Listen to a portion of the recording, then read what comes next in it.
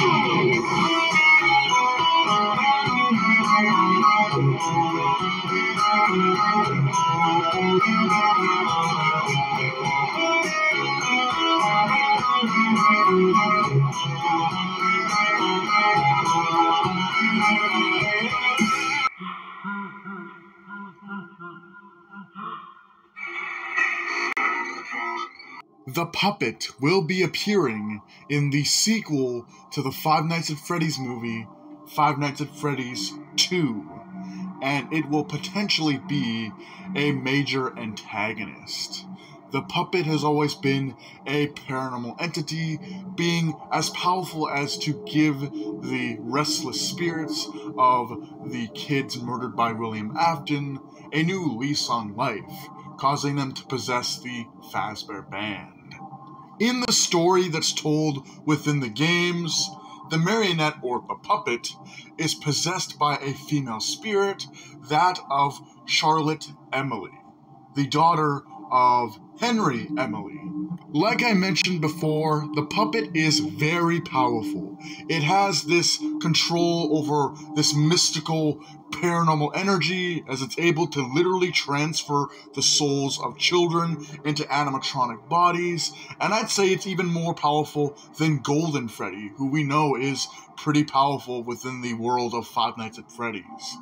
The marionette or puppet is also able to remember key events in Five Nights at Freddy's history. It is able to remember the original victim of William Afton, and so on and so forth.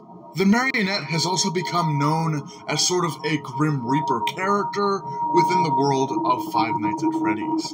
But now that you know a little bit about the puppet's history and lore within the games, let's get into what you actually clicked on the video for, and that is the inclusion of the puppet in the sequel to the Five Nights at Freddy's movie. Early in the film, there is a scene in which Mike is talking to a doctor in what looks like a classroom or some kind of preschool. There is lots of drawings and toys and stuff, brightly colored decorations around in this room. And one notable thing in the background is a huge chalkboard with various things written on it. And funny enough, some of the things written on this chalkboard are bear, chick, fox, rabbit, and get this, puppet. Now, obviously, you can see the references to the Fazbear Band with each of the animals that they're supposed to be listed. But the one interesting thing is the inclusion of Puppet. Puppet is a character that appears in Five Nights at Freddy's 2 and is not an animatronic. However, to further back up the theory that the puppet will be a character in Five Nights at Freddy's 2 is something I completely missed both times I went to see this film. And that is, at the end of the credits, you can hear the puppet's music playing, and the words, Come Find Me, are displayed on screen. Now, if you go into the official soundtrack for the Five Nights at Freddy's movie, done by the Newton Brothers, the last track in this soundtrack is called My Grandfather's Clock, and it sports the same FNAF 2 music box that we all know is synonymous with the puppet. Take a listen.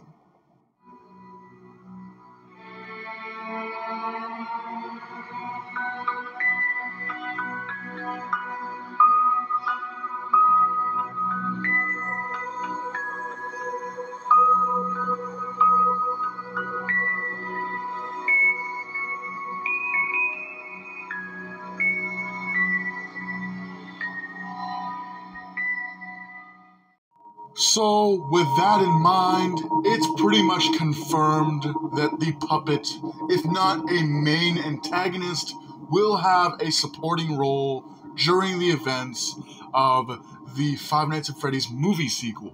And whilst we don't know much about the sequel, it is safe to assume that the puppet will have some kind of role, and I can't wait to see what they do with such a creepy character. For example, here's an idea the main character catches glimpses of the puppet from the corner of their eye, as if the puppet is leading them to some hidden truth.